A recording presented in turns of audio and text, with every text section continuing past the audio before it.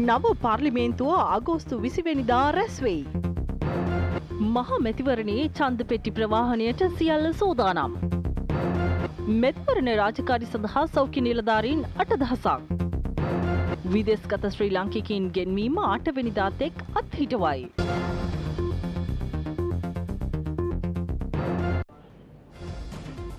අයිබෝවන් සුපදාය උදැස්සනක් අද අගෝස්තු මස හතරවන අගහරුවාදා දවස ඔබ සුපුරුදු පරිදිෙක් වන්ඩේ ප්‍රෘතිවාර්තා කරණය ප්‍රමුඛයා නිවස්පස් උදැස්සන ප්‍රධාන ප්‍රෘති ප්‍රකාශයක් සමගින් තීරණාත්මක හෝරා කිහිපයකයි අප මේ ආකාරයෙන් උදැස්සන ප්‍රධාන ප්‍රෘති ප්‍රකාශය හරහා ඔබ හා සම්බන්ධ වන්නේ.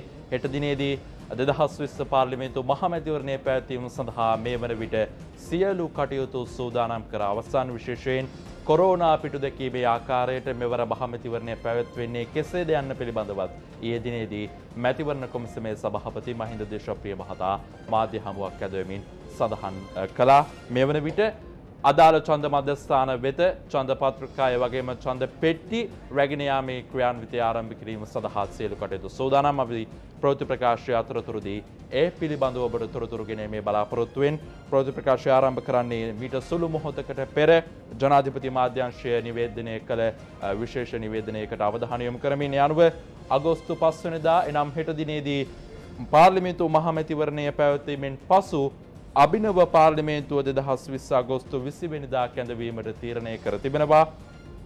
ආණ්ඩු ක්‍රම ව්‍යවස්ථාවෙන් සහ පාර්ලිමේන්තු මැතිවරණ පනතින් පැවරී ඇති බලතල ප්‍රකාරව ජනාධිපති ගෝඨාභය රාජපක්ෂ මැතිතුමා විසින් මෙම තීරණය ගෙන ඇති බවයි ජනාධිපති මාධ්‍යංශය සඳහන් කරන්නේ අනුව ඒ බව සඳහන් කරමින් අති විශේෂ කැසට් නිවේදනයේ මධ්‍යම රාත්‍රියේ ප්‍රකාශයට පත් කර තිබෙනවා. යනුව හෙට දිනේ පැවැත්වෙන පාර්ලිමේන්තු මහමැතිවරණ පසු තෝරාගන්නා සභිකීන් දෙසිය විසි පහ ප්‍රමුඛ එවගේම නව අගමැතිතුමා එවගේම ජනාධිපතිතුමා ප්‍රමුඛ මේ අභිනව පාර්ලිමේන්තුව ලබන අගෝස්තු විසිවෙනිදා කැඳවීමට නියමිත බව තමයි ජනාධිපති මාධ්‍යංශය සඳහන් කරන්න. ඉතින් හෙට දිනේදී ඔබට අවස්ථාව හිමිවනවා චන්දදායකින් වශයෙන් මේ දෙසේ විසි පස් දෙනා තෝරාපත් කර ගැනීම සඳහා අභිනව පාර්ලිමේන්තුවට මප්‍රෘති ප්‍රකාශ ආරම්භේදී ඔබට සඳහන් කරා පාර්ලිමේන්තු මහමැතිවරණට අදාළ ඡන්ද පත්‍රිකා ඡන්ද පෙට්ටි සහ නිලධාරීන් ඡන්ද මධ්‍යස්ථාන වෙත යොමු කිරීමේ අමූලික කටයුතු මේ වන විට සිදු කරමින් පවතින බව යනුව අදාළ ක්‍රියාවලිය උදැස්සන අටට ආරම්භ කරන බව ජාතික මැතිවරණ කොමිෂන් සභාව පවසනවා. අපේ ලියාපදිච්ච ඡන්ද සංඛ්‍යාව එක් කෝටි හැටද ලක්ෂ හැටතුන්දස් අටසය අසූපහයි. අපි ගාව චන්ද කොට්ටාච දොළොස්දා සත්‍යය ඇත්ත හතරක් චන්ද මධ්‍යස්ථාන දොළොස්දස් නමසය අසූ පහක් හැබැයි මේ චන්ද මධ්‍යස්ථාන පිහිටල තියන්නේ පරිශ්්‍ර එකොලොස්දාස් එකසිය දෙකක් ඇතර විතරයි. මොකද අපි ගාව තියෙනවා චන්ද මධ්‍යස්ථාන එකකට වඩා තියෙන පරිශ්්‍ර. මේ චන්ද පොළොල්වල සඳහා චන්ද පෙට්ටි නිකුත් කිරීම දිස්්‍රික්ක විසි පහේ පරිශ්්‍ර හැත්ත එකක සිදු කරන. නිකුත් කිරීම මධ්‍යස්ථාන හැත්ත එකේදී චන්ද පෙටි නිකුත් කිරීම ආරම්භ කරන පෙරවරු අටට. සමහර දිස්ත්‍රික්වල කට්ටා මාට වෙන්න පුළුවන් සමාර්තැන්වල නමයට වෙන්න පුළුවන්. මහමැතිවරණය පැවැත්වෙන කලසීමාවේ සෞඛ්‍ය නිර්දේශ ක්‍රියාත්මක කිරීම සඳහා සෞඛ්‍ය නිලධාරී අටදහසකට අධික පිරිසක් අනියුක්ත කර ඇති බව සෞඛ්‍ය අමාත්‍යංශය පවසටවා. සෞඛ්‍ය සේවා අධ්‍යක්ෂ ජනරාල් විශේෂඥ වෛද්‍ය අනිල් ජාසිංහ මහතා සඳහන් කළේ එම නිලධාරීන් ස්ථානගත කිරීම් අද සිට ආරම්භ කර ඇති බවයි. හෙට පැවැත්වීමට නියමිත මහමැතිවරණයේ ආරක්ෂාව සඳහා දීපව්‍යාප්ත ජංගම මුර සංචාර තුන්දහසකට අධික සංඛ්‍යාවක් ක්‍රියාත්මක බව පොලිසිය පවසටවා. මේ මහමැතිවරණයේ ආරක්ෂාව පිළිබඳව අදහස් පළ කරන මැතිවරණ කටයුතු බහර ජේෂ්ඨ නියෝජ්‍ය පොලිස්පති නීතිඥ ප්‍රියන්ත වීරසූරිය මහතා. මැතිවරණ පැවැත්වෙන දිනට පෙර දින රාජකාරි සඳහා ජංගම සංචාර ස්ථානීය රාජකාර මාත්පාදක අවශ්‍ය ස්ථානවල මැතේ ඇතිවෙතයි අනුමාන කළ හැකි ස්ථානවල ආරක්ෂාව සම්බන්ධයෙන් නිලධාරීන් මෙවනට දිවයින පුරාම යොදලා තියෙනවා. නිලධාරීන් ජංගම සංචාර 3069ක් දිනු පුරා අවසන් කරමින් පවතිනවා. ඒත් එකම 12785ක් වන පැතිවරණ මධ්‍යස්ථාන ඡන්ද මධ්‍යස්ථාන ආවරණය කරමින් නිලධාරීන් මෙවනට ඡන්ද පෙට්ටි රැගෙන යාම සඳහා අදාළ තේරීම් භාර නිලධාරීන් වෙත වාර්තා කළ තිනවා. අනිත් නිලධාරියෙකෝ දෙන්නෙක් ඡන්ද පොළ රාජකාරිවත මෙවනට යොදවලා තිනවා.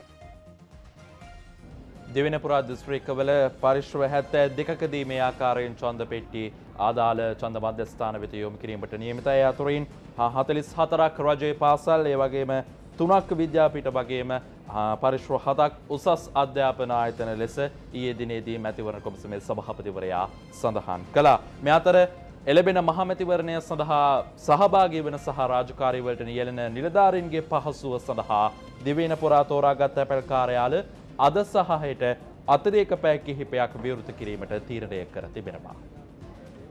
තැපල්පති රංජිත අරියරත්න මහතා පැවසුවේ තේරින් බහර නිලධාරීන් විසින් නම් කර ඇති තැපැල් සහ උපතැපල් කාර්යාල අදරාත්‍රී අට වනතුරු විවෘතව තැබිය යුතු බවයි. ඒ මහමැතිවරණයේ රාජකාරි සඳහා පැමිණෙන නිලධාරීන්ගේ පහසුව වෙඩ්වේ. තැපල්පතිවරයා සඳහන් කළේ තෝරාගත් තැපල් සහ උපතැපල් කාර්යාල හෙට සව සහය දක්වාත් විවෘතව තැබෙන බවයි. එම කටයුතු ප්‍රාදේශ තැපල් අධිකාරීවරයාගේ අධීක්ෂණය යටතේ ක්‍රියාත්මක බවද ඔහු පැවසුවා. මේ අතර මෙතෙක් නිල චන්ද දැන්වීම් පත්‍රිකා නොලැබුණු පුද්ගලීන් වේ නම් අද සහ හෙට දෙදින කාර්යාල වේලාවන් තුලදී සිචන්ද පත්‍රිකාව තමන් අයත් ප්‍රදේශයේ තැපල් කාර්යාලයෙන් ලබා ගන්නා ලෙසද ඔහු දැනුම් දෙනවා.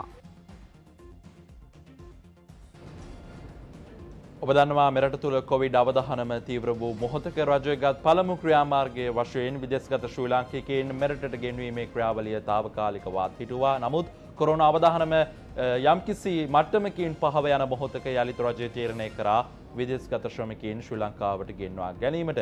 පසුගියදා මෙරට තුළ කොවිඩ් දෙවන රැල්ලක අවධානම මතු කරමින් මේ කන්දකාඩු මධ්‍යස්ථානයේ කොරෝනා පොකුරක් ඇතිවීම හේතුවෙන් ඔවුන් සියලු දෙනා නිරෝධානයට ලක් කිරීමේ පහසුකම් සැපීමේ ගැටලුවක් මූලික කරගනිමුණුත් මේ ආකාරයෙන් විදෙස්ගත ශ්‍රමිකීන් මෙරටට ගෙන්වා ගැනීමේ ක්‍රියාවලිය තාවකාලිකවත් හිටවීමට රජය තීරණය කරා නමුත් පසුගිය තිස් එක් වෙනදා සිට මේ දක්වා කාලය තුර නැවතත් රජයේ මැදිහත්වීම යටතේ බොවුන් දෙවිනට ගෙන්වා ගැනීමේ ක්‍රියා පටිපාටිය දියත් කෙරුණත් එලබෙන මහමැතිවරණය මූලික කරගනිමින් යළිත් විදෙස්ගත ශ්‍රී ලාංකිකයින් දිවිනට ගෙන්වා ගැනීම තාවකාලිකව අත්හිටුවා තිබෙනවා.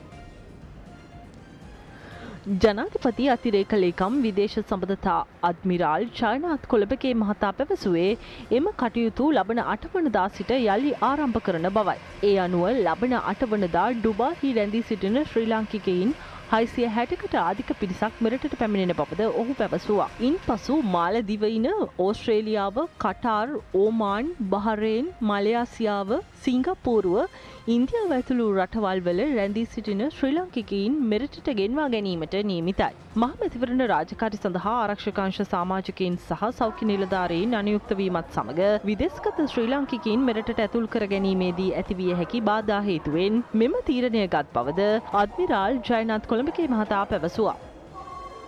මෙරට බන්ධනාගාර පද්ධතිය පිළිබඳව පසුගි දින කිහිපය මුළුල්ලේම බොහෝ දෙනාගේ අවධානය මුණා ඒ බන්ධනාගාරගත රැඳවියන් ඒ වගේම බන්ධනාගාර නිලධාරීන් එක්ව මේ නීති විරෝධී ක්‍රියාවන් වල නිර්තවීම හේතුවෙන් බන්ධනාගාර පද්ධතියටම සමස්ත බන්ධනාගාර පද්ධතියටම කළු පැල්ලමක් එක් කිරීමට පසුගේදා ඒ තොරතුරු අනාවරණය වීමත් සමග ඔවුන්ට සිදුවුණා. කෙසේ වෙතත් මේ වන විට ඒ බන්ධනාගාර ඇඳිවියන් සහ බන්ධනාගාර නිලධාරීන් එක්ව සිදු කළ නීති විරෝධී ක්‍රියාවන් පිළිබඳව බොහෝ තොරතුරු ආරක්ෂකංශයේ වගේම බලධාරීන් අනාවරණය කර තිබෙනවා. මේ වන විට බොහෝ දෙනාගේ අවධානයට යොමු තිබෙන කරුණක් තමයි මේ ගමුව හිටපු බන්ධනාගාර අධිකාරී වන සම්පායෝ අත්අඩංගුවට ගැනීම පිළිබඳවත් ඒ වගේම මේ මොහොත වන විට නීති විරෝධී ක්‍රියාවලට සම්බන්ධ බවට සැක කරන බන්ධනාගාර නිලධාරීන් සම්බන්ධයෙන් බුද්ධි අංශ මගින් තොරතුරු අනාවරණය කර ගැනීමට පියවරගත් බව බන්ධනාගාර දෙපාර්තමේන්තුව පවසනවා. බන්ධනකාර කොම්සාරිස් ජනරාල් තුෂාර උපුල්දනිය මහතා සඳහන් කළේ අදාළ නිලධාරීන් නීති විරෝධී කටයුතු වලට සම්බන්ධ දැයි එමගින් දැඩි ලෙස විමර්ශනය කරන බවයි. එම විමර්ශනවලදී යම් නිලධාරියෙක් කෙවැනි ක්‍රියාවලට සම්බන්ධ බව හෙළිවුවහොත් ඔවුන්ට විරුද්ධව දැඩිව ක්‍රියා කරන බවද ඔහු පැවසුවා. බන්ධනාගාර කොමසාරිස් ජනරාල් තුෂාර උපුල්දනිය මහතා සඳහන් කළේ රාජ්‍ය බුද්ධි සේවාව සහ බන්ධනාගාර බුද්ධි ඒකක මගින් එම කටයුතු සිදුවන බවයි. දිවින්නේ සියලු බන්ධනාගාර කේන්ද්‍ර කරගනිමින් මෙම විමර්ශන ක්‍රියාත්මක බවද ඔහු පැවසුවා. බන්ධනාගාර ආශ්‍රිත තොරතුරු බුද්ධ්‍යංශ මගින් අනාවරණය කරගන්න පසුබිමකදී මද්‍රව්‍ය ජාවාරමට සම්බන්ධ මද්‍රව්‍ය නාශක කාර්යාංශයේ නිලධාරීන්ගේ දේපල රාජසන්තක කිරීමට තීරණය කර තිබෙනවා. පොලිසි පැවසුවේ අදාළ නිලධාරීන් අයිතාලි සුපයාගත් මුදලින් රැස් කරගත් දේපල එලෙස රාජසන්තක කිරීමට පියවර ගන්නා බවයි. ඒ මුදල් විශුද්ධි කරන පනත යටතේ. ඊට දාල තොරතුරු මේ වන විට රැස් කරමින් සිටින බව පොලිසිය පැවසුවා. අදාළ ජාවාරම් සම්බන්ධයෙන් මේ වන විට රක්ෂිත බන්ධනාගාරගත කර සිටින නිලධාරින් දහතුන් දෙනා අද යළි අධිකරණයට ඉදිරිපත් කිරීමට නියමිතව තිබෙනවා. පොලිසිය සඳහන් කළේ සෙසු නිලධාරීන් අට දෙනාගෙන් තවදුරටත් රඳවා තබා ප්‍රශ්න කරන බවයි. මේ අතර මද්‍රව්‍ය නාශක කාර්යාංශයේ මද්‍රව්‍ය ගබඩාවෙන් ලබාගත් මද්‍රව්‍ය සාම්පල සම්බන්ධ වාර්තා මහ මැතිවරණයෙන් පසු අධිකරණයට ඉදිරිපත් කරන බව රජයේ රස පරීක්ෂක දෙපාර්තමේන්තුව පවසනවා. එහි ජ්‍යෙෂ්ඨ නිලධාරියෙකු සඳහන් කළේ ජාවාරම සඳහා යොදාගත් බව කියන වාහන අටක් සම්බන්ධ වාර්තාද අධිකරණයට ඉදිරිපත් කිරීමට නියමිත බවයි. මෙම විමර්ශනය ඉතා සංකීරණ බවද ඔහු පෙන්වා දෙනවා. මෙරට සංස්කෘතික අංගාතරයෙන් ප්‍රමුඛස්ථානයක් හිබිවන මහනුවර ඓතිහාසික ඇසල පෙරහැර මංගල්‍ය අදින් අවසන් වනවා. දිය කැපීමේ චාරිත්‍රය අද හිමිදිරියේ සිදු කෙරුණේ මහවැලි නදියේ ගැටබේ තොටේදී.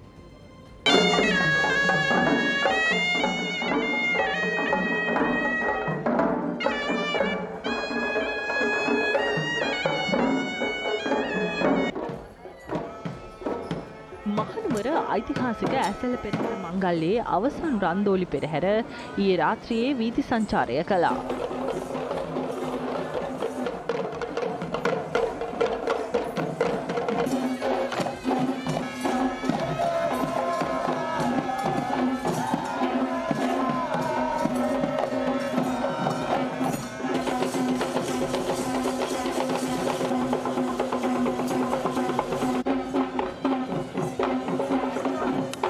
ඓතිහාසික රුහුණු මහා කතරගම දේවාලයේ ඇසල පෙරහැර මංගල්‍යද අදින් අවසන් වනවා.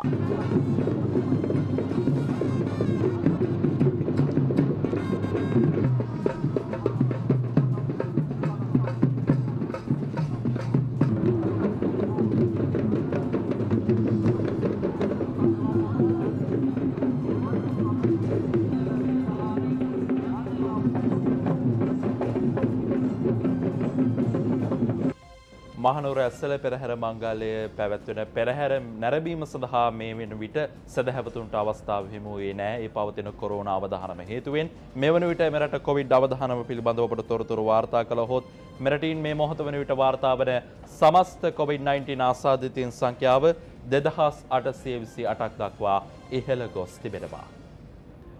ඊයේ තවත් කොරුණ ආසාධිතින් පස් දෙනෙකු හඳුනා ගැනුණා. තවත් රෝගීන් තුන්සිය දෙනෙකු රෝහල්ගතව ප්‍රතිකාර ලබමින් සිටින බව සෞඛ්‍ය අමාත්‍යාංශයේ වසංගත රෝග විද්‍යා ඒකකය සඳහන් කළා. කොරෝන ආසාදනය වී සුවය ලැබූ රෝගීන් සංඛ්‍යාව දෙදහස් පන්සිය දාහතක්. කියා ගන්නට කෙනෙක් නොමැතිව අනන්ත දුක්ගැහැට විදිමින් සිටි. අපේම ජනතාවගේ හඬට සබන්දුන් එකම බලාපොරොත්තුව.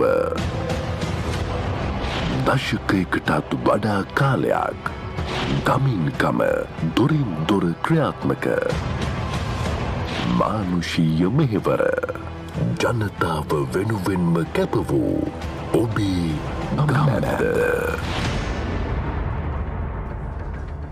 ගෙන අප සූදානම් වන්නේ නිවස් ෆස්ට් උදෑසන ප්‍රධාන ප්‍රවෘත්ති ප්‍රකාශයෙන් ඔබෙන් සමුගන්නට සුපුරුදු පරිදි අප සූදානම් live at 55 ප්‍රවෘත්ති ප්‍රකාශය හරහා ඔබට හා සම්බන්ධ වන්නට ඔබට සුබදායි දවසක්.